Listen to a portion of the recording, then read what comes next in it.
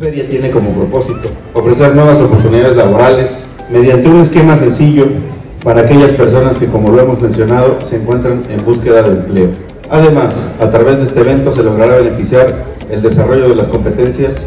necesarias para la inserción laboral mediante la puesta en práctica de distintas actividades de asesoría, que como gobierno